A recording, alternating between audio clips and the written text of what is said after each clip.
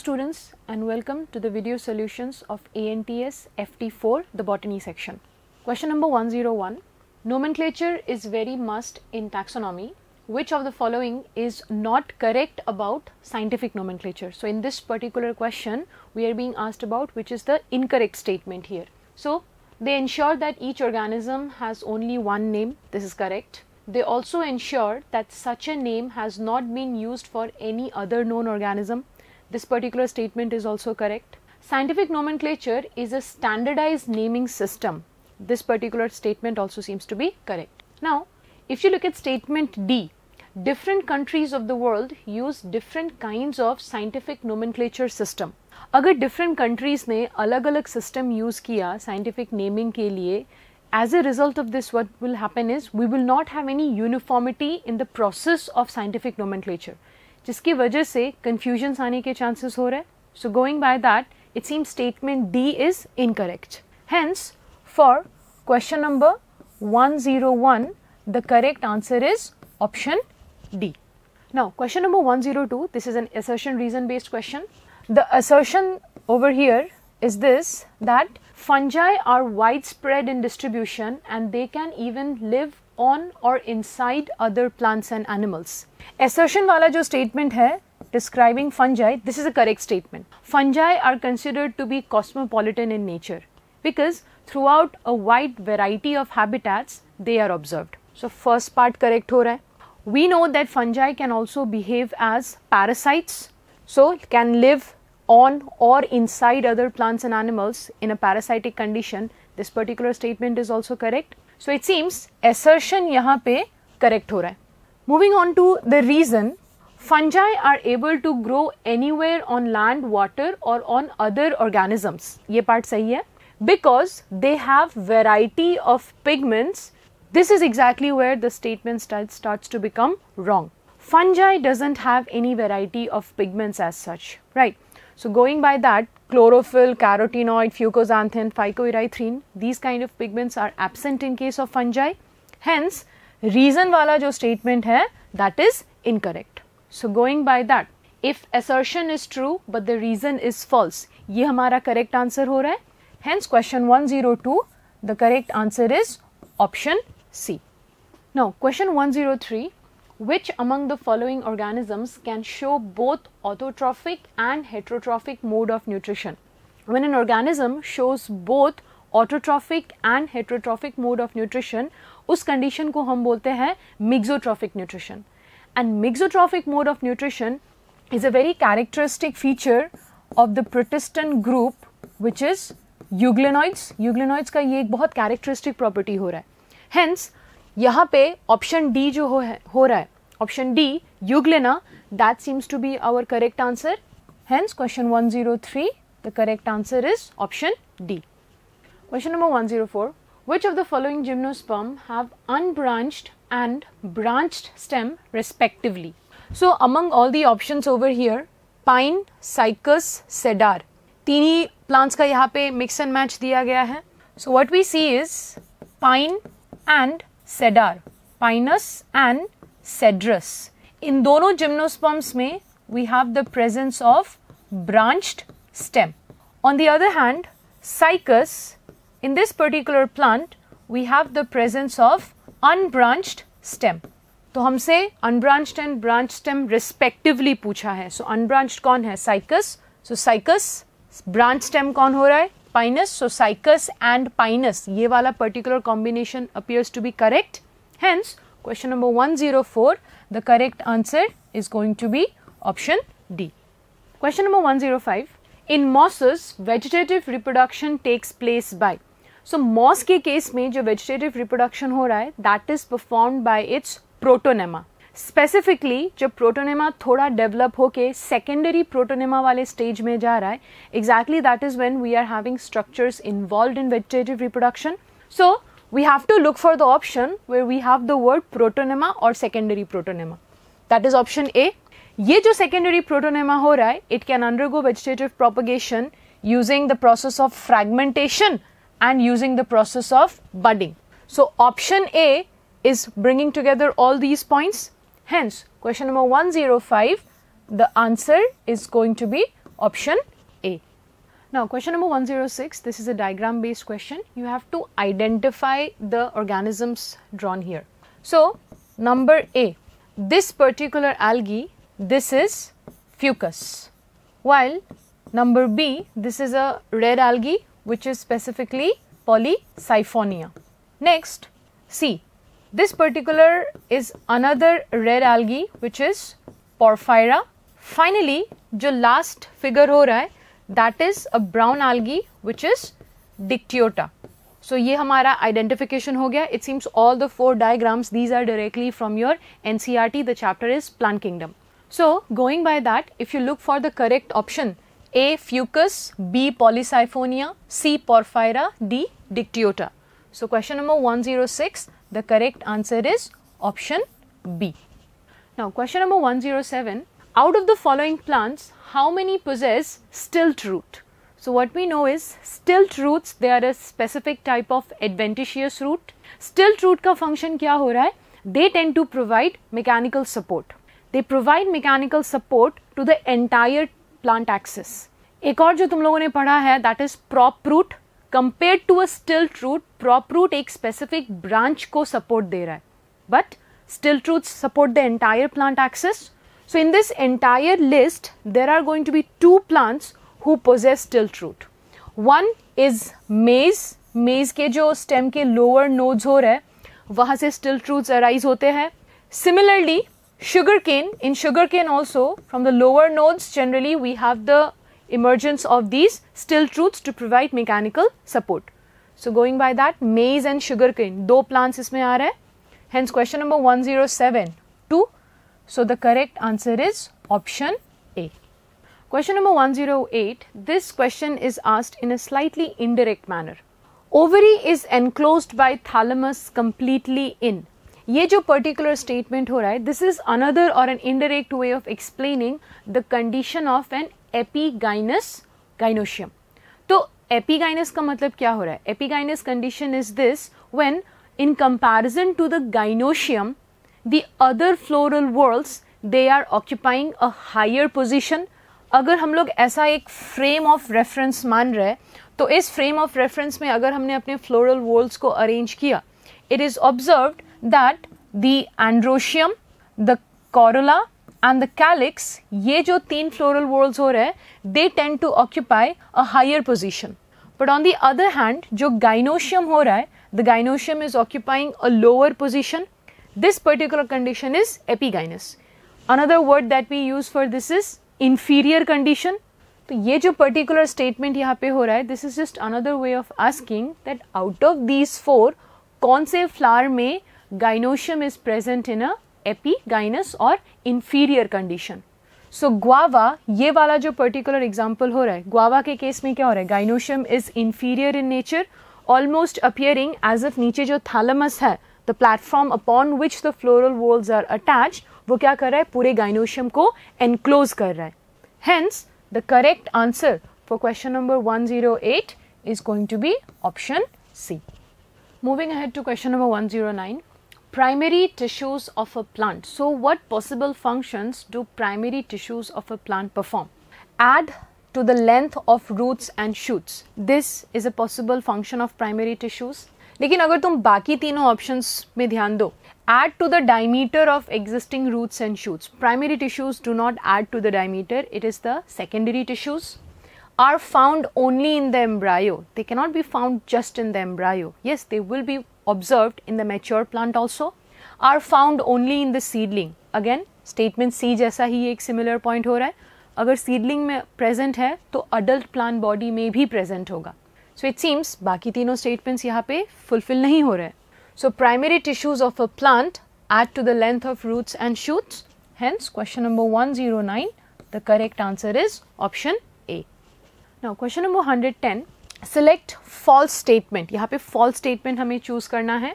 Statement A in leaf the ground tissue consist of thin walled chloroplast containing cells and is called mesophyll so leaf का जो ground tissue हो रहा है we do not have any proper demarcation of region over there पूरे total ground tissue को ही हम क्या मान रहे हैं? We call it to be collectively mesophyll and they are generally compose of cells who contain chlorophyll so ये statement correct है. Statement B the stomatal aperture which is nothing but the opening guard cells surrounding it and the surrounding subsidiary cells are together called stomatal apparatus. This statement is also correct. Statement C, the root hairs are unicellular elongation of the epidermal cell. तो root epidermis जब sales अपने आप को modify करके कुछ unicellular extension बना रहे that is considered to be root hair So statement C is also correct now in statement D what happened protophloem and metaphloem in दोनों का कंसेप्ट आ रहा है. Protophloem that is the phloem which is produce during the early stages of plant development उसके थोड़ी देर बाद जो second stage of plant development हो रहा है that is considered to be containing metaploem. So first formed phloem is protoploem, later formed phloem is metaploem. So protophloem has bigger sieve tubes ये particular part incorrect हो रहा है। Protophloem the first form phloem that we have ये अभी बस first phloem develop हुआ है। Plant में भी इतना ग्रोथ नहीं है। So it seems that for food conduction we do not require broader sieve tubes in fact we are going to require comparatively narrow sieve tubes hence protophloem के पास bigger नहीं स्मॉलर सीव ट्यूब्स होंगे। Vice versa, whereas metaploem has narrow sieve tubes. ये point भी गलत हो रहा है because if the plant has shown growth, now its demands for food transport has increased. Hence, metaploem technically should have broader sieve tubes. तो दोनों proto and metaphloem का जो डिस्क्रिप्शन है वो उल्टा दिया गया है hence statement D appears to be what false हमें false statement पूछा गया है hence question number 110 the correct answer is going to be option D question number 111 plastids are found in plastids are a characteristic property which is observed in plant cells we in fact use plastids as a distinguishing feature between plant and animal cells so plant cells में जो सबसे famous plastid हो रहा है that is chloroplast which is going to contain chlorophyll along with other pigments the site of photosynthesis. But apart from plant cells, where else do we find plastids are some members of euglenoids. So, it is observed that plant cells and euglenoids they do contain plastids. Few plant cells बोल के कोई point नहीं आ रहा है. Let it be chloroplast, chromoplast, leucoplast. A variety of plastids are generally observed among all plant cells. So give and take all plant cells में हमें plastids मिल रहे हैं. Hence, our correct answer would be all plant cells and in euglenoids. So, question 111, the correct answer is option B. Question number 112, circular double-stranded DNA can be found in. So, we know that double-stranded DNA is the genetic material. But among prokaryotes and eukaryotes एक major difference ये आ रहा है that prokaryotes का जो core genetic material हो रहा है it is actually circular in nature so, the two ends of the DNA they seem to be in a closed conditions almost giving us a circular appearance. Whereas eukaryotes में जो genetic material nucleus में present है that genetic material has the two ends of DNA free which is called to be linear double stranded DNA. So, it seems where is circular DNA observed? Circular DNA can be observed in case of prokaryotes. तो prokaryote का जो cytoplasm हो रहा है that is where we observe circular double stranded DNA. But this is where an exceptional point is coming. We stated that in case of eukaryotes, nucleus के अंदर जो DNA है that is linear DNA. But among eukaryotic cells, there are two more sites where we can observe DNA.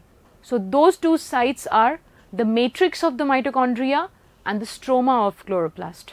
तो mitochondrial matrix and chloroplast के stroma में जो DNA present है that is also actually circular double stranded DNA. So, going by that to this particular list, I can add mitochondria, I can also add chloroplast. तो तीनों में circular double stranded DNA हो रहा है. Hence, our answer should be all of the above. Question number 112, the correct answer is option D. Now, question number 113, this is a question from cell cycle. Read the following statements and find out the incorrect. Again, we have to find out the incorrect statement. Statement A In an animal cell, cytokinase is achieved by the appearance of a furrow in the plasma membrane. This statement is correct क्योंकि अगर हमें एक plant cell में cytokinesis कराना है let's assume this is the plant cell इसके दोनों ends में दोनों न्यूक्लियाई अभी प्रेजेंट है टेलोफेज के एंड में न्यूक्लियाई दोनों साइड्स में फॉर्म हो चुका है इस सेल में अभी अगर हमें साइटोकाइनेसिस कराना है so what we observe is ये जो प्लाज्मा मेम्ब्रेन हो रहा है इसमें एक ग्रूव या फिर एक बेंड जैसा बनेगा। So it will almost look as if इस पर्टिकुलर सेक्शन में एक ऐसा एक बेंड जैसा स्ट्रक्चर आएगा। ये जो बेंट यहाँ पे फॉर्म हो रहा है, यही बेंट फर्दर अंदर की तरफ़ ऐसे मूव होगा। एक पॉइंट पे जो पिंच बन रहा है, एक पॉइंट पे ये मीट होगा। As a result of which I will get two daughter cell तो ये जो बेंट स्ट्रक्चर बन रहा है this is nothing but the cell furrow so going by that it seem statement A is correct इसी से related हो रहा है statement B so what we just pointed out over here is कि furrow edge में बनता है gradually what will happen this furrow will keep moving towards the centre ऐसे अंदर की तरफ मूव होगा एक जगह पे ये पॉइंट मीट होगा which is resulting in the distribution of the cytoplasmic material cytokinesis will be achieved so now you see statement B furrow formation starts in the centre of cell यही वाला जो part है this seems to be incorrect right because furrow का formation centre में start नहीं हुआ है। Furrow edge में बना है सेंटर की तरफ़ मूव हो रहा है। सो सेल फरो जो ग्रोथ है that is considered to be centripetal type because it is moving towards the centre लेकिन यहाँ स्टेटमेंट में क्या बोला है? अवे फ्रॉम द सेंटर या फिर सेंटर में स्टार्ट हो रहा है एंड ग्रोज आउटवर्ड बोल रहे so going by that statement B appears to be incorrect हमसे यहाँ पे इनकरेक्ट स्टेटमेंट पूछा है। Hence question 113 the answer is option B question number 114 choose the correct statement for long distance transport इस बार हमें करेक्ट स्टेटमेंट पता करना है। That too related to long distance transport तो जाइलम हो या फ्लोएम हो long distance whatever transport is happening correct statement अगर हम ढूंढ रहे हैं statement A long distance transport within a plant occurs by diffusion alone outright ये पर्टिकुलर स्टेटमेंट गलत हो रहा है because if we were dependent only upon diffusion to transport materials throughout the plant body the movement would have become slow so for fast and efficient transport of materials diffusion alone cannot be possible तो statement A गलत हो रहा है statement B bulk flow can be achieved through a positive hydrostatic pressure only. Xylem column में positive hydrostatic pressure buildup हो रहा है as water is absorb by the roots which we also call to be the root pressure but जो long distance transport या जो भी bulk flow of water in the xylem column हो रहा है, उसमें पॉजिटिव हाइड्रोस्टैटिक प्रेशर से ज़्यादा बड़ा रोल किसका हो रहा है? Transpiration pull so transpiration pull is compare to what a negative hydrostatic pressure जब कॉलम से वाटर बाहर जा रहा है whatever differences it created उसकी वजह से वाटर को ऊपर की तरफ़ एक पुल मिल रहा है। That is transpiration pull and that is your major driving factor so going by that it seem statement B also is incorrect statement C xylem is associated with translocation of water only ये गलत है, क्योंकि xylem में along with water we also have the movement of minerals so bacha statement d Phloem translocates a variety of organic and inorganic solutes mainly from leaves to other parts of the plant. तो so, ये particular statement correct है क्योंकि phloem में organic and inorganic salutes का movement हो रहा है ये जो मूवमेंट है ये बाई डायरेक्शनल है shoot to root root to shoot भी हो रहा है बट मोस्टली ये मूवमेंट कैसे होगा इसमें बोला है mainly not only so mainly from leaves to other parts of the plant ये पार्ट भी करेक्ट है hence Question number 114, the correct answer is option D. Now, question number 115, which one of the following microbes forms symbiotic association with the roots of plants and helps them in their nutrition? So, a symbiotic association between a microbe and roots of higher plants. So, going by that, glomus. Glomus is a fungi which forms association with roots of higher plant तो ये जो एसोसिएशन हो रहा है कि glomus एक fungi है रूट के साथ एसोसिएशन बना रहा है, इस टाइप के एसोसिएशन को हम क्या बोलते हैं? We call it to be a mycorrhizal association ये एक माइक्रोराइजा फॉर्म कर रहा है। So it seems yes Glomus does associate with roots of higher plants it helps in increasing surface area for absorption. It also facilitates better absorption of nutrients. So going by that, option A seems to be correct. Trichoderma, Azotobacter, Aspergillus. These three microbes do not form any symbiotic associations as such, specifically with the roots of plants. So, question number 115, the correct answer is option A. Now, question number 116, this question is related to Calvin cycle. We are mostly focusing upon C3 cycle here. If you look at the steps of C3 cycle, what we notice is there are three major steps. We have carboxylation, which is the fixation of carbon dioxide. We have reduction, where the fixed carbon dioxide undergoes further reduction in order to produce sugars. And finally, the step of regeneration Regeneration of what? Regeneration of the acceptor molecule which is RUBP or ribulose bisphosphate. So, regeneration of the acceptor molecule RUBP or ribulose bisphosphate.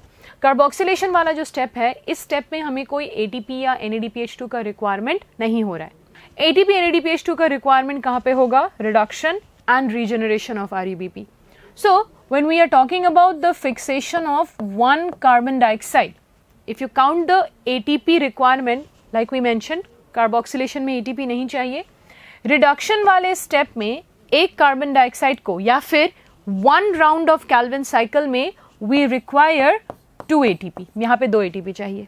Where is during the regeneration of R U B P when we are talking about fixation of one C O two और maybe according to the question one round of dark reaction regeneration वाले step को सिर्फ़ एक ATP का requirement हो रहा है so one round of dark reaction requires one ATP for RUBP regeneration hence question number 116 the correct answer is option B now, question number 117 release of energy by breaking down of carbon-carbon bond of various organic molecules by oxidation process for cellular use. This is nothing but a very simplified definition for the process of respiration. So, question number 117 the correct answer is option A. Moving on to question number 118. The effect of apical dominance can be overcome by which of the following hormone? To answer this question, first we have to understand what is apical dominance. Apical dominance is the phenomenon where as long as the shoot apex is intact, we observe कि उसके आसपास जो भी axillary buds है they are not able to properly develop the lateral branches so what is happening in apical dominances that near the shoot apex the formation of lateral branches is a bit limited the hormone who is responsible for maintaining the condition of apical dominance that is going to be auxin auxin shoot apex में बनता है, वो shoot epics से नीचे की तरफ़ migrate होता है एक्जिलरी बड्स पे अपना इफ़ेक्ट दिखा रहा है as a result of which वो ब्रांचिंग नहीं होने दे पा रहा है। सो एपिकल डोमिनेंस को मेंटेन कौन कर रहा है? Auxin but on the other hand same plant में अगर मुझे एपिकल डोमिनेंस को काउंटर एक्ट करना है so the class of hormones who are actually going against auxin are cytokinins so cytokinins are going to show an antagonistic action वो क्या करेगा? इस पूरे प्रोसेस को ओवरकम करके लैटरल ब्रांचेस का डेवलपमेंट कराएगा। So based on that apical dominance maintain कौन कर रहा है? Auxin but same apical dominance को सप्रेस कौन कर रहा है? Cytokinin so based on this idea question में हमसे पूछा जा रहा है that effect of apical dominance can be overcome you need to overcome apical dominance so overcome कौन कर रहा है? Cytokinin hence 118 the correct answer is going to be option D I A A यहाँ पे एक ऑक्सिन है but अगर तुमने ऑक्सिन एड कर दिया देन एपिकल डोमिनेंस तो और अच्छे से मेनटेन हो जाएगा। तुमको उसको ओवरकम करना है। सो so, तुमको क्या एड करना है? Cytokine hence question number hundred eighteen the correct answer is option D question number hundred nineteen how many of the following tissues given below are formed by dedifferentiation Dedifferentiation का मतलब ये हो रहा है that you have a permanent tissue, a seemingly permanent tissue जिसका structure function वगैरह decided है. Later if the correct trigger is given to it ये जो टिश्यू हो रहा है it is going to revert back to its activity of meristematic processes so देखने में ऐसा लग रहा है कि पहले हमारे पास एक मेरिस्टम था जिसने एक परमानेंट टिश्यू बनाया। So meristem to tissue the process is differentiation यहाँ पे क्या हो रहा है? परमानेंट टिश्यू रिवर्ट बैक कर रहा है इनटू मेरिस्टम तो डिफ्रेंसिएशन का ऑलमोस्ट उल्टा हो गया right that process is the differentiation so in this entire list जो दो यहाँ पे स्ट्रक्चर्स बन रहे हैं as a result of the differentiation they are the interfascicular cambium and the cork cambium fascicular cambium जो है another name is going to be the इंट्राफैसिकुलर cambium सो इंट्राफैसिकुलर और fascicular cambium any of the words you use ये already present है within a vascular bundle ये बाद में नहीं बन रहा है बट दो वैस्कुलर बंडल्स के बीच में जो इंटरफैसिकुलर कैम्बियम है and later during secondary growth the cork cambium that is formed both are products of D differentiation. So 1 and 2, 2 are products of D differentiation. Hence, question 119, the correct answer is option B. Question number hundred twenty in ginger vegetative propagation occurs through the ginger that we consume what is that representing that is representing a stem modification which is called to be rhizome इसी rhizome में आगे जाके birds develop हो सकते हैं and जो further आगे क्या कर सकता है उसका vegetative propagation hence 120 the correct answer is rhizome option C question number 121 which of the following sequences is correct for microsporogenesis so what is happening in the process of microsporogenesis we are going to start with a microspore or pollen mother cell you can call it to be the microspore mother cell or the pollen mother cell. Microspore mother cell, it is diploid in nature. This microspore mother cell undergoes meiosis resulting in the formation of a microspore dyad and further after completion of meiosis it results in a microspore tetrad. So, जैसे ही meiosis हो गया it means from diploid things have now become haploid the microspore tetrad is going to be haploid in nature. ये microspore tetrad की जो भी चार constituents है tetrad four are there right so these constituents as they dissociate they are resulting in the formation of microspores और later maturing into pollen grains क्योंकि already एक बार मियोसिस हो चुका है, इसका भी प्लॉइडी क्या होगा? And so mother cell is diploid meiosis tetrad is haploid microspores are also haploid so what you have to do is you have to find that order over here so if you look at option B microspore mother cell diploid meiosis microspore tetrad haploid then microspores haploid बाकी हर एक process में हम क्या देख रहे हैं? सिर्फ़ माइटोसिस इन्वॉल्व है डिप्लॉइड से टेट्रेड भी डिप्लॉइड बन रहा है फिर वही माइटोसिस से अचानक से वो हैप्लॉइड बन गया can not be possible again tetrad से डिप्लॉइड है फिर माइक्रोस्पोर बन रहा है again tetrads are not diploid in nature mother cell diploid है टेट्रेड भी डिप्लॉइड है माइक्रोस्पोर भी डिप्लॉयड है प्लॉइडी तो चेंज होगा राइट? ये यहाँ पे अगर नहीं हो सकता है So, the correct answer over here is going to be option B. Question number 122. What is common between vegetative reproduction and apomixis? Vegetative reproduction में हम क्या देख रहे हैं when we use methods of vegetative propagation that is nothing but asexual reproduction and about asexual reproduction what we know is that parent and daughter generation they tend to be identical so it seems जो भी progeny बन रहा है वो parent जैसा ही हो रहा है that is one benefit we can say of asexual और vegetative propagation. On the other hand, when we observe apomixis, apomixis is a unique phenomenon. Apomixis can be considered as a type of asexual reproduction which mimics sexual reproduction. तो asexual reproduction क्यों है क्योंकि apomixis में कहीं पे भी meiosis, fertilization, the conventional steps of sexual reproduction, they are not occurring. But why do we consider it to be mimicking sexual reproduction ये sexual reproduction जैसा क्यों है बिकॉज इन एपोमिक्सिस जो भी डिप्लॉयड स्ट्रक्चर्स प्रेजेंट है female gametophyte में what they do is they undergo modification वो mitotic division करते हैं, वो डिफ्रेंसिएशन करते हैं। एट दी एंड वो क्या करेंगे? They tend to give rise to a diploid embryo और a diploid seed like structure यहाँ पे भी सीड बन रहा है। एपोमिक्सिस के एंड में भी सीड बन रहा है। Who is going to be diploid in nature but apomictic seeds they are not a product of sexual reproduction so technically the process is sexual reproduction looking like it looks like sexual reproduction but actually वो process क्या हो रहा है asexual reproduction so it seems इन दोनों में एक similarity ये है दोनों ही टेक्निकली क्योंकि एसेक्सुअल रिप्रोडक्शन का ही बात कर रहा है the progeny should be identical to the parent so option B both vegetative propagation and apomixis produces progeny identical to the parent. Keep this point in mind कि एपोमिक्सिस के end में जो सीड बन रहा है ना even though we are calling it to be a seed this is not a product of fertilization तो इसमें दो पेरेंट्स का इन्वॉल्वमेंट अलग क्राइटेरिया अलग कैरेक्टर ये सब नहीं आ रहा है. So this is still a type of asexual reproduction hence question number one twenty two the correct answer is option B question number one twenty three What is the genetic disorder in which an individual has an overall masculine development, gynecomastia and is sterile? So, what is happening in this entire condition? The person has an overall masculine development. So, what we can assume over here is that in this person masculine development agar raha hai, to Y chromosome along with that a counterpart X chromosome is coming.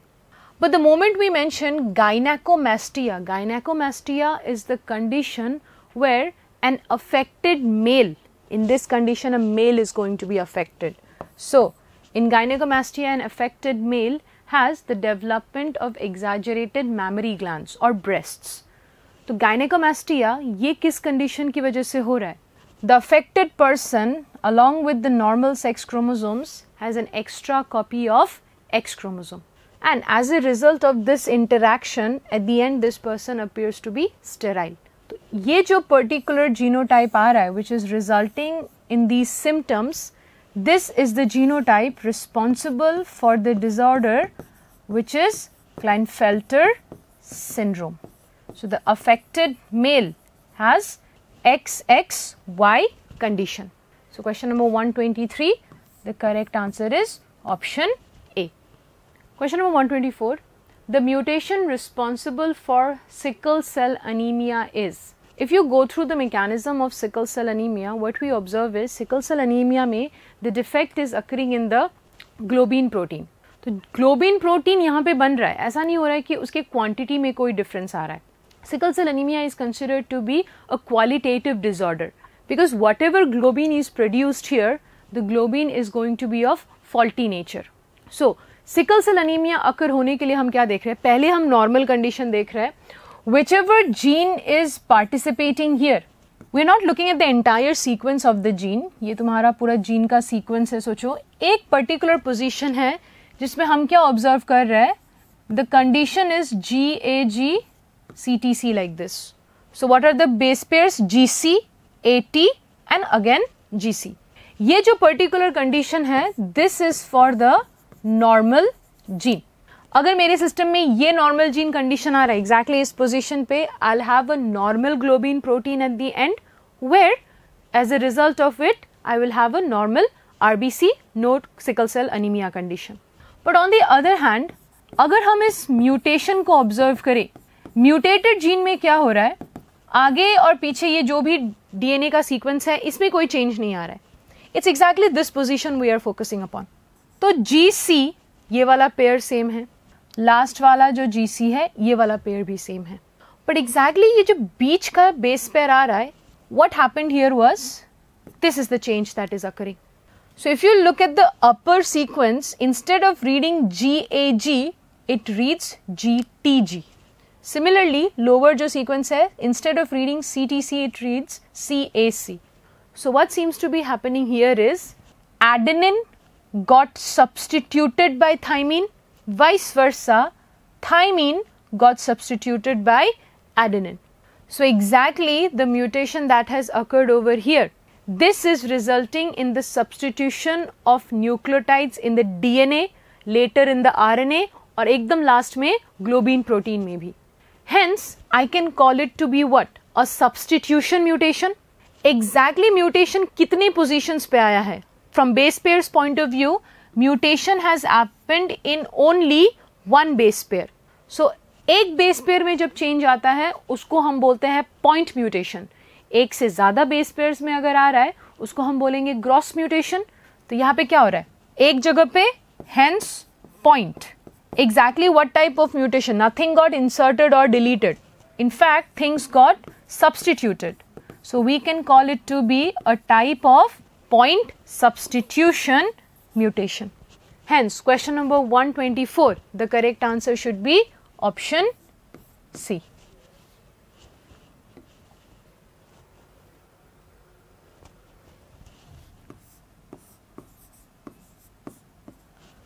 question number 125 बहुत direct question हो रहा है who coin the term nuclein so nuclein ये जो term है to represent the acidic genetic material which is present inside nucleus this particular term was first coin by Friedrich Miescher so question number one twenty five option A just like the previous question question number 126 is also a very direct question the codon aug codes for we know that aug is considered to be the start codon वहां से translation का process start हो रहा है along with being the start codon AUG is also coding for the amino acid methionine. Hence, question number 126, the correct answer is option A. Question number 127, another diagram based question. If you look, there is a RNA molecule, then we have an RNA polymerase, and then we have a DNA molecule. At one point, wo khul raha hai. Question number 127, if you look at the diagram over here, we have a double stranded DNA helix we have a resultant RNA molecule. There is an RNA polymerase coming over here. We have factors, sigma factor, rho factor.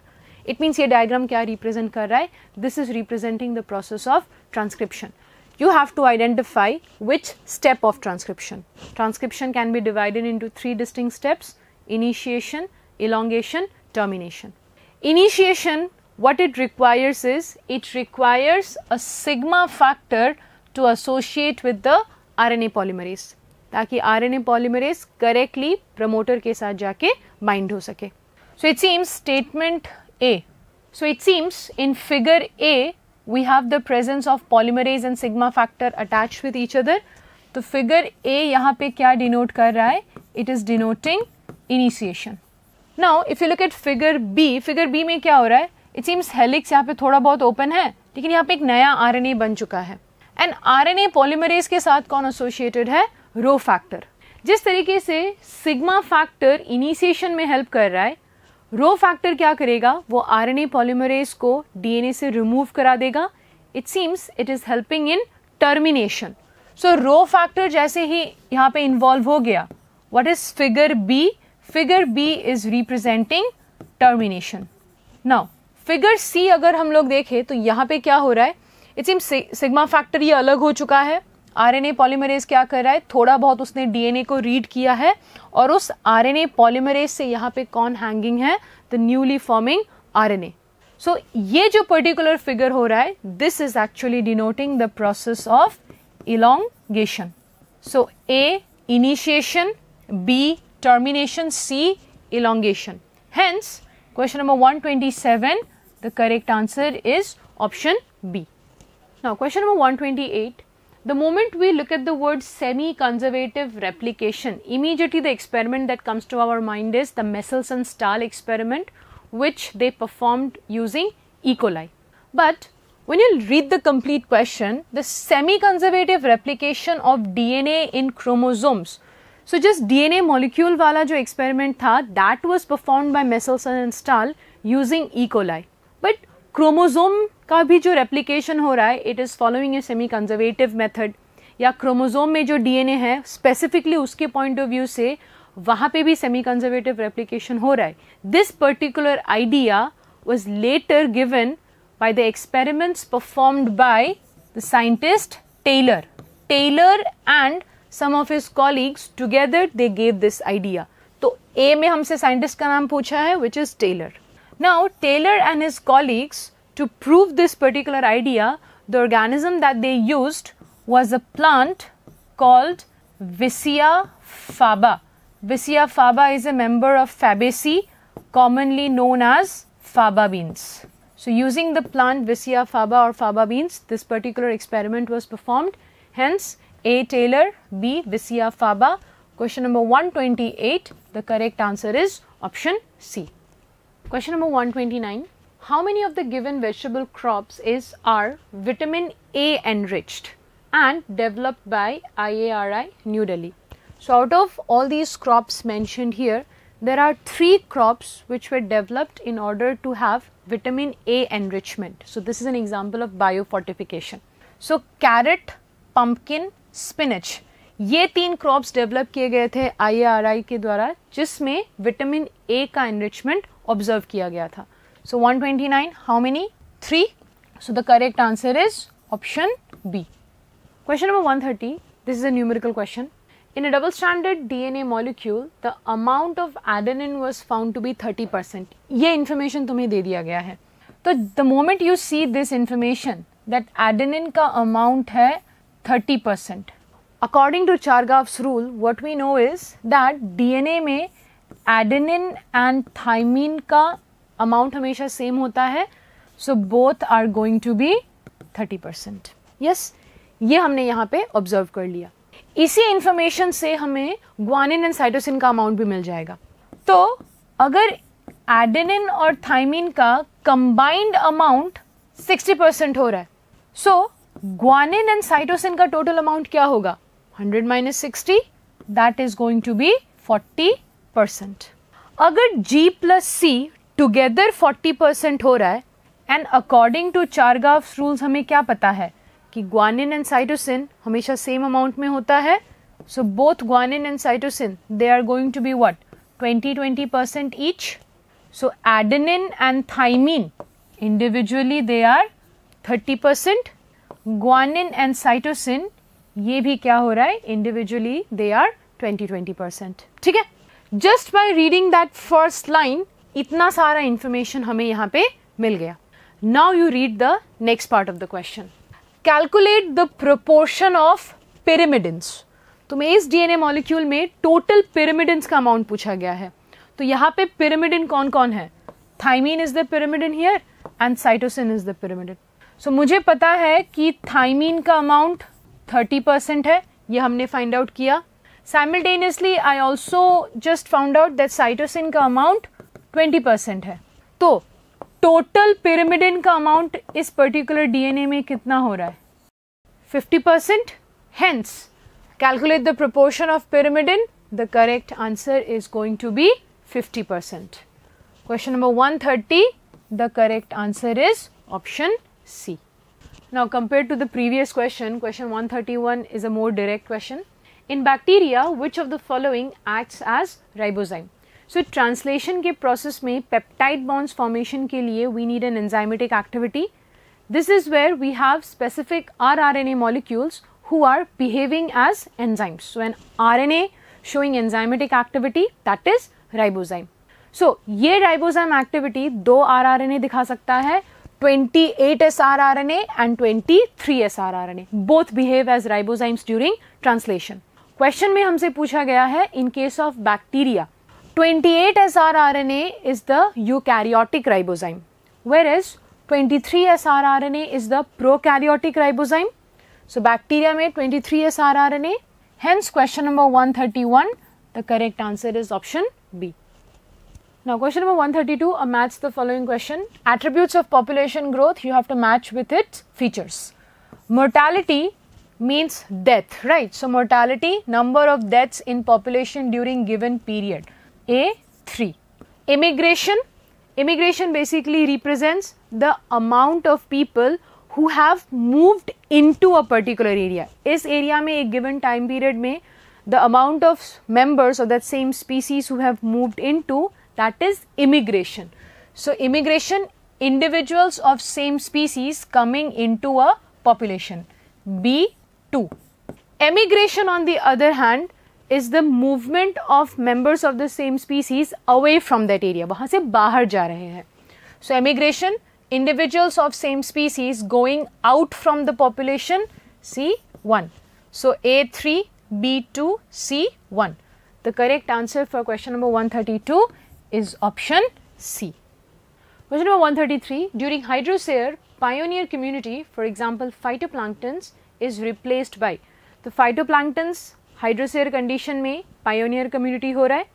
Immediately after that जो next seral community होगा that is actually going to be rooted submerged plants so second community यहाँ पे option B phytoplanktons are replace by rooted submerge plants hence question 133 the correct answer is option B question number 134 again an assertion reason based question the assertion we have is the pyramid of number in pond ecosystem is upright. So, pond ecosystem में when you stack the different members of different trophic levels, so number जो हो रहा है the pyramid of number is actually upright in nature. तो ये जो particular point है this is correct.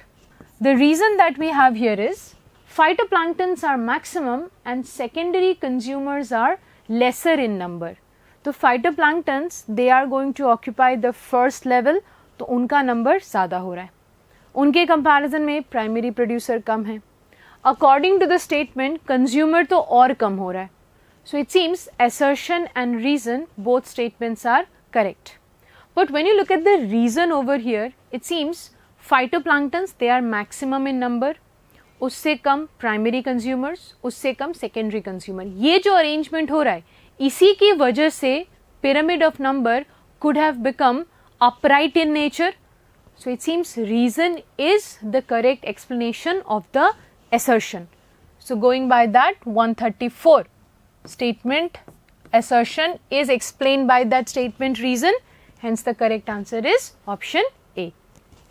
Now question number 135 a direct question related to a formula on a logarithmic scale the species area relationship is a straight line described by the equation. So the correct equation which is representing that logarithmic scale that is going to be log s equal to log c plus z log a. So, question number 135 the correct answer is option C. Now, section A is over we are moving on to section B. Question number 136 identify the type of leaf modification in the diagram. In the first diagram it seems we have the presence of some slender coiled structures these are nothing but tendrils. Tendrils का function क्या हो रहा है tendrils tend to provide mechanical support so tendrils for support B में cactus के case में what we observe is you have the presence of some very sharp fine pointed structures these are called to be spines so in case of cactus what we observe is the green fleshy structure that's a stem modification and the tiny spiny structures we get they tend to be called as leaf modifications which are spines. Spines का एक major role यहाँ पे क्या हो रहा है They tend to provide protection from any grazing animal. C में this is the cross section of what? Uh, onion. Onion के केस में क्या हो रहा है Onion has a reduced disc like stem and the concentric fleshy structures which are actually edible they are representing fleshy leaves and these fleshy leaves they are involved in storage of food. So, going by that support by tendril, protection by spine and storage using fleshy leaves. Hence, question number 136, the correct answer is option B. Question number 137, it's a very easy question. You just have to tell what are the components which are included in the stomatal apparatus. So, what does the stomatal apparatus include? The stomatal aperture or the pore, the guard cells and the surrounding subsidiary cells. So, question number 137, the correct answer is option D. Question number 138, in dorsiventral leaf, the location of palisade parenchyma and phloem are. If you look at the options, the words they are using here is adaxial and abaxial. So, what we know is adaxial, this means upper, whereas abaxial, this means lower now in the cross section of a leaf अगर हम मान रहे हैं कि ये upper layer of epidermis हो रहा है मतलब अडैक्शियल एपिडर्मिस एंड नीचे की तरफ़ ये हो रहा है abaxial epidermis so you have the adaxial and abaxial epidermis so adaxial epidermis के ठीक नीचे जो इलोंगेटेड टाइप सेल्स हो रहे हैं these are called to be what? These are called to be the elongated palisade parenchyma.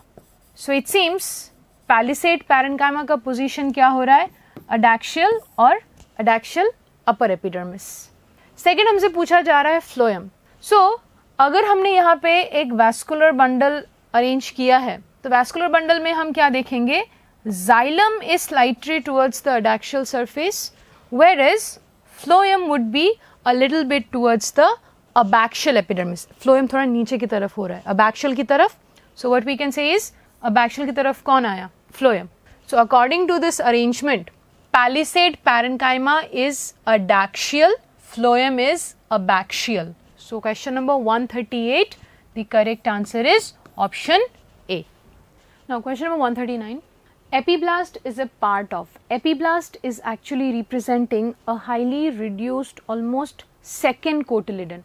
The moment we are considering a reduced second cotyledon or almost a negligible second cotyledon, it means we are talking about what? Monocotyledonous structures. तो monocots के case में we know that there is the presence of a prominent cotyledon, a single cotyledon. तो अगर किसी seed में एक cotyledon के side में एक छोटा सा रिड्यूस्ड सेकेंड कोटिलिडन आ गया है that particular structure will be considered as epiblast so going by that ये कहाँ प्रेजेंट होना चाहिए सीड में एम्ब्रायो के आसपास। वो भी कहाँ पे? स्पेसिफिकली इन अ मोनोकॉट तो epiblast is considered to be a very characteristic feature in case of some grasses what we know about grasses is grasses they are all monocotyledonous in nature तो seed of some grasses में ये जो एक remnants of a second cotyledon हमें देखने को मिल रहा है that is epiblast hence question number one the correct answer should be option B. Question number 140 consider the following statements. Statement 1 cytokinesis in plants occur by cell plate method तो animal cytokinesis में क्या हो रहा था? एक depression या furrow जैसा structure बन रहा था which we call to be the cell furrow it grows in a centripetal manner लेकिन प्लांट साइटोकाइनेसिस में what we observe is you have the deposition of materials at the centre of the plant cell वो धीरे धीरे क्या कर रहा है? बाहर की तरफ़ ग्रो हो रहा है। तो ये जो स्ट्रक्चर बन रहा है ना this dividing structure we are getting in a plant cell this is called to be a cell plate so going by that statement one this seems to be correct statement two cell plate grows centrifugally in plant cells so again a repetition of that same point plant cytokinesis में what we observe is the cell plate is deposited in the middle and from the centre वो बाहर की तरफ़ जा रहा है। तो animal cytokinesis में क्या हो रहा था? सेल फरो अंदर की तरफ़ ग्रो हो रहा था. Towards the centre we called it to be centripetal यहाँ पे क्या हो रहा है? सेंटर में डिपॉजिट हुआ then it gradually started to grow outwards this is away from the centre centrifugal development so yes it does seem that cell plate grows centrifugally in plant cells and statement two is also going to be correct so both statement one and statement two are true. So, question number 140, the correct answer is option A. Now, question number 141 deficiency symptoms of nitrogen and potassium are visible first in ये जो particular question है ना ये transport in plants and mineral nutrition दोनों chapters को interconnect कर रहा है सो नाइट्रोजन एंड पोटेशियम ये दोनों जो एलिमेंट्स हो रहे हैं they belong to a group of elements जिनको हम बोल रहे हैं मोबाइल एलिमेंट्स इसमें मोबाइल वर्ड, मोबाइल का मतलब है जो मूव कर सकता है राइट बट मूवमेंट यहाँ पे हम किस पॉइंट ऑफ़ व्यू से बोल रहे हैं? We are talking about the remobilisation of elements remobilisation of elements का मतलब ये हो रहा है that once the plant has absorb the element and transported it to a region let's a root ने एब्जॉर्ब किया नाइट्रोजन उसको ट्रांसपोर्ट कराया डिपॉजिट कहाँ कर दिया उसने? लीफ में. In the leaf what happen we are assuming that the nitrogen got utilise मतलब वो किसी स्ट्रक्चर का पार्ट बन गया. उसने अमाइनो एसिड बना दिया न्यूक्लिक एसिड बना दिया। Some structure it became a part of तो वो यूटिलाइज हो गया। But what can happen to this nitrogen later is if required वो जिस साइट में पहुँच चुका है यूज़ हो रहा है, वहाँ से वो क्या कर सकता है? वो रिलीज़ हो सकता है। So whatever site it first went to let's it's site A उस साइट ए से क्या कर सकता है? दोबारा मूव कर सकता है। So this again movement it is showing दोबारा जो ये मूव हो रहा है री अगेन मोबिलाइजेशन मूवमेंट तो ये दोबारा मूव कर पा रहा है। This particular process is considered to be remobilisation अगर कोई एलिमेंट शो कर रहा है that's a mobile element vice versa अगर किसी एलिमेंट के पास, ये कैपेसिटी नहीं है कि वो एकदम स्ट्रक्चरली इंटीग्रेट हो गया है, वो दोबारा मूव नहीं कर पा रहा है they do not show remobilisation we call them to be immobile elements तो यहाँ पे हमने क्या स्टेट किया है? That nitrogen and potassium are mobile elements so now you think there is a plant body and it was first absorbing nitrogen and potassium उसको मिल रहा था वो टाइम पे. But eventually if nitrogen and potassium become deficient अगर वो root में deficient हो गया तो रूट उसको एब्जॉर्ब नहीं कर पा रहा है सॉइल से. सो ग्रेजुअली पूरे प्लांट बॉडी में क्या हो रहा है? नाइट्रोजन का डेफिशिएंसी आ गया. But what we observe is plant में कहीं कहीं पे nitrogen and potassium already present है right so what the plant will do is right at this point the plant is trying to save the young parts जो भी उसके immature young parts हो रहे हैं। सॉइल से उसको पोटेशियम मिल नहीं रहा है या नाइट्रोजन मिल नहीं रहा है। एक ऑप्शन प्लांट के पास क्या है? दैट वट एवर ओल्ड और senescent parts are there they are already old right they do not have any further process here तो ओल्ड पार्ट में जो भी नाइट्रोजन प्रेजेंट है because it's a mobile element plant क्या करेगा? उसको old part से मूव कराएगा टू द यंग पार्ट तो ये जो यंग पार्ट है, उसको सॉइल से नाइट्रोजन नहीं मिला बट कहीं और से तो उसको नाइट्रोजन मिल गया right so it's not going to show the deficiency first लेकिन उस ओल्ड पार्ट के साथ क्या हो रहा है? It's not getting nitrogen from the soil उसका खुद का नाइट्रोजन भी जा रहा है. So it seems deficiency symptom पहले कहाँ आकर होगा? इन द ओल्ड और the senescent parts so remobilisation का कंसेप्ट यहाँ पे यूज़ हो रहा है. So question number 141 forty one senescent leave में पहले ऑब्ज़र्व होगा. हेंस 141 का करेक्ट आंसर है option A question number 142 forty two photochemical phase does not include so photochemical phase of photosynthesis what happens in this photochemical phase absorption of light energy using that light energy to allow splitting of water और photolysis of water and eventually the formation of the assimilatory powers ATP or NADPH to be precise. Right? तो ये तीनों steps कहाँ हो रहे हैं photochemical phase में the fixation of carbon dioxide to give sugar ये स्टेप बाद में कब हो रहा है during the biochemical phase so going by that it seems photochemical phase में which is not happening CO2 fixation 142 the correct answer is option C question number 143 which of the following is correct sequence in Krebs cycle alpha ketoglutaric acid के बाद isocitric this is not possible isocitric पहले आ रहा है so not A oxalosuccinic acid, isocitric, alpha ketoglutaric acid, oxalosuccinic acid does not come before isocitric acid. This particular point is also incorrect. Isocitric, malic फिर alpha ketoglutaric acid. Malic acid alpha ketoglutaric acid के बाद form होता है. So So C भी गया. Isocitric acid resulting in alpha ketoglutaric, further succinic acid, malic acid. ये वाला जो arrangement हो रहा है, this seems to be representing the correct steps. Hence, question number 143 the correct answer is option D. Now, question number 144 incorrect about arithmetic growth is. So, in arithmetic growth, after mitosis, one cell continues to divide while another matures. This results in what? A steady increase in the growth. Statement A is correct. Growth rate rapidly increases. What we just mentioned was that in arithmetic growth, the growth that happens उसका rate एक बहुत steady uniform rate में होता है suddenly exponentially growth यहाँ पे नहीं होता या फिर रैपिड इंक्रीज नहीं हो जाएगा so it's a very arithmetic progression that we are observing here in a study way so option B seems to be the incorrect point regarding arithmetic growth हमसे यहाँ पे इनकरेक्ट पूछा गया है। So question number 144 the correct answer is option B question number 145 name the part of gynoecium that determines the compatible nature of pollen grain so there is this one whole concept we study right which is considered to be pollen pistil interaction so वो pollen grain compatible है या नहीं है, ये कौन decide करता है? It's the pistil the entire pistil which is eventually going to decide it ये जो particular point है it is exactly there in your NCRT that the pistil is going to decide the compatible or the incompatible condition of the pollen grains. Hence, question number 145, the correct answer is option A, pistil. Now, question number 146, we have to do a question related to pedigree analysis. The pedigree chart has been given to you. So first you look at the options, myotonic dystrophy, sickle cell anemia, testis determining factor and color blindness.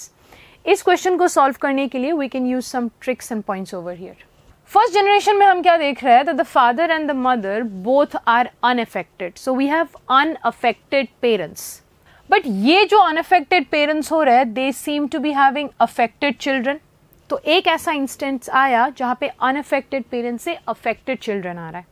again when you check the next generation ये वाला particular couple यहाँ पे दोनों parents in this particular couple they are unaffected but they do have one child who is affected तो एक और बार ऐसा हुआ that unaffected parents are resulting in affected children दो बार ऐसा आया तो one condition where this is possible that unaffected parents are resulting in an affected child that is going to be in case of a recessive condition dominant condition में ये observe नहीं होता है ये रिसेसिव कंडीशन में observe होता है।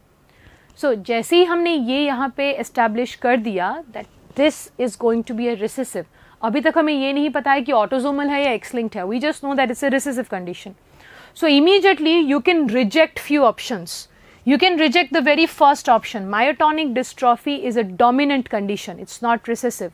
तो अगर हम लोग यहाँ पे रिमूव करें ऑप्शंस ऑप्शन ए यहाँ पे रिमूव हो गया that is not our answer simultaneously एक और ऑप्शन जो तुम इमीजिएटली रिमूव कर सकते हो that is actually C testis determining factor TDF testis determining factor is going to be present on the Y chromosome. It's a Y linked condition तो इसका मतलब ये वाला जो सिस्टम हो रहा है, ये सिर्फ़ मेल्स में ऑब्ज़र्व हो रहा है. बट इस पर्टिकुलर पेडिग्री चार्ट में मेल फीमेल दोनों ही अफेक्टेड हो रहा है. So it means it cannot be a Y linked condition right so option C भी यहाँ पे रिजेक्ट हो गया है। सो इट सीम्स चार में से दो हट गए, अभी तुमको बस दो ऑप्शन यहाँ पे चेक करने हैं। So option became lesser question became easier तुम्हें पता है कि ये रिसेसिव है, बस ये पता करना है इज़ इट ऑटोजोमल रिसेसिव और is it sex linked recessive what we are going to check over here is इस पेडिग्री चार्ट को भी हम चेक करेंगे फॉर कलर ब्लाइंडनेस फ़र्स्ट हमारे पास दो ऑप्शन है sickle cell anaemia and colour blindness let's go for colour blindness तो it's in a trial and error method we are going to solve this so if let's assume this is a case of colour blindness तो इसी generation में अगर हम study करें so the father is going to be normal क्योंकि colour blindness X linked condition हो रहा है एक्स लिंक्ड रिसेसिव कंडीशन है तो इसमें मेल का कैरियर होने का कोई ऑप्शन नहीं है। अगर उसके पास म्यूटेटेड जीन है तो वो अफेक्टेड है, अगर म्यूटेटेड जीन नहीं है तो it's normal so there is no option of carrier here so male parent का जीनोटाइप ये हो रहा है female parent we are assuming कि कलर ब्लाइंडनेस का इनहेरिटेंस है अफेक्टेड तो चिल्ड्रन है सो एटलीस्ट मदर को कैरियर होना पड़ेगा। So the mother over here we are considering her to be a carrier तो गैमेट्स यहाँ पे क्या बने? X and Y normal female में एक एक्स वाला गैमेट नॉर्मल है, दूसरा यहाँ पे म्यूटेटेड कंडीशन में है। सो इट सीम्स ये जो फीमेल प्रोजेनी है, ये नॉर्मल है। This particular male progeny is also normal similarly ये जो पर्टिकुलर फीमेल प्रोजेनी आ रहा है this female progeny is normal it's unaffected but it's carrier in nature तो दोनों ही फीमेल प्रोजेनी अनअफेक्टेड है, यहाँ पे इस कंडीशन में कोई भी अफेक्टेड फीमेल होने का हमारे पास पॉसिबिलिटी ही नहीं है। लेकिन मेल प्रोजेनी का अफेक्टेड होना पॉसिबल है। तो अगर ये कलर ब्लाइंडनेस का केस होता तो we would have had unaffected females and some of the males would be affected but now if you cross check it seems यहाँ पे सेकेंड जनरेशन में we do have a female who is affected तो ये जो analysis है, ये तो prove कर रहा है ना कि अगर कलर ब्लाइंडनेस वाला केस होता तो that female should not have been affected तो what does this tell us it tells us that may be this is not a case of colour blindness तो हमारे पास एक और ऑप्शन है चेक करने के लिए. तो अगर हमने ऑप्शन बी के लिए चेक किया विच इज़ सिकल सेल फिर से तुम देखो, यहाँ पे जो भी मेल पेरेंट हो रहा है we are considering the male parent to be a carrier जो ये स्मॉल ए आ रहा है ना this is considered to be the recessive condition जो भी म्यूटेटेड अलील है. On the other hand the female parent over here she must have also been a carrier right तो अब अगर तुम यहाँ पे कॉम्बिनेशन देखो these are the male and the female gametes so what possible combination we are getting is irrespective of if it is a male or a female progeny ये unaffected है Similarly, irrespective of being a male or a female progeny, ये दोनों भी unaffected है लेकिन जहाँ पे ये रिसेसिव कंडीशन ऐड हो गया ये वाला प्रोजनी क्या बन गया we do not know if it is a male और अ फीमेल बट ये जो भी प्रोजनी है This is going to be affected so there is a possibility that it might be a male और it might be a female तो यहाँ पे क्या हो रहा है एक मेल और एक फीमेल तो अफेक्टेड हो रहा है तो इसमें सेक्स लिंक्ड इनहेरिटेंस का कोई पॉइंट नहीं आ रहा है hence what we can conclude is that this particular pedigree analysis is possible for an autosomal recessive condition which is sickle cell anemia. So, question number 146 ये pedigree analysis का answer क्या होगा option B sickle cell anemia. Now question number 147 basis of DNA fingerprinting has the very simple idea which is behind DNA fingerprinting is to find out polymorphic conditions in the DNA the higher degrees of polymorphism in sequence that is considered to be a criteria we use for DNA fingerprinting. Hence, question number 147, the correct answer is option A. Now, question number 148, a farmer grows cucumber plants in his field. He wants to increase the number of female flowers in them. The more number of female flowers, the higher would be the fruit yield. Which plant growth regulator can be applied to achieve this? So, cucumber plants में if you want to facilitate more development of female flowers, तो ये femaleness of flower जो हो रहा है this is actually influenced by ethylene. So, अगर externally हमने यहाँ पे ethylene apply किया so there is a chance of developing more female flowers eventually yield बढ़ जाएगा. So, question number 148 the correct answer is option B. Now, question number 149 logistic growth model का जो correct formula representation हो रहा है so the correct formula representation for logistic growth is d n by d t is equal to r n in bracket k minus n by k close bracket. So, this is a very direct question the formula they are asking. So, question number 149 the correct answer is option A. Now, question number 150 the last question for this exam match the column with respect to an hydroser.